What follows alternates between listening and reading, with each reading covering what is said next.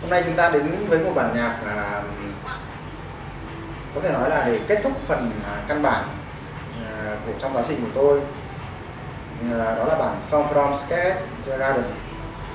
À, bản nhạc này thì à, chúng ta sẽ lưu ý rất nhiều. Đó là làm sao để chơi được có được hơi thở của âm thanh à, có được một trạng thái thật là mềm mại thật là êm ái. Và một cái điều ở đây tôi muốn nói với các bạn đó là những điểm rơi của âm nhạc những điểm rơi của âm thanh. Không phải là chúng ta sẽ nhấn mạnh vào những cái phách phách ờ, chính như thế này.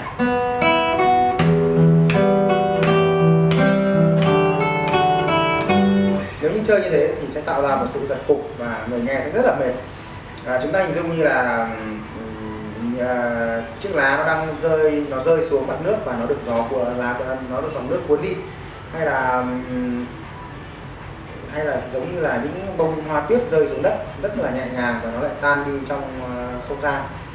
Ờ, có nghĩa là chúng ta phải tạo ra một sự thật ờ, một, một sự êm ái và tự nhiên nhất chứ chúng ta không tạo ra sự thật cục âm thanh nó phải thật mềm mại và uyển chuyển.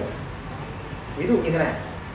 Các bạn hãy lưu ý ba nốt đầu tiên là ba nốt lấy đà và điểm rơi nó sẽ rơi xuống cái nốt đầu tiên của ô thứ hai si mi, fa, son fa, son. Có nghĩa là đó là sẽ hết một hơi thở. Và chúng ta sẽ làm sao để gắn kết các nốt lại đó, gắn kết các nốt đó lại một cách dứt khoát nhất và rành mạch. Chúng ta sẽ không để các nốt đệm xen vào giữa một cách vô lý như thế này.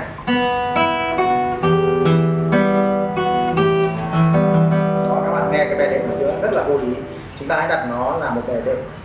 Chúng ta sẽ không đánh nổi nó lên. Bây giờ các bạn hãy nghe tôi chơi cả bản nhạc này các bạn hãy lưu ý là trong bản nhạc này thì uh, số ngón tay người ta đã sắp xếp một cách rất hợp lý và các bạn sẽ không thay đổi nó. Hãy chơi nó uh, hãy chơi một cách legato nghĩa là sẽ không để các ngón tay rất ra sớm và cần đàn hãy giữ thật lâu trước khi chuyển sang ngón khác chứ không để ngắt quá.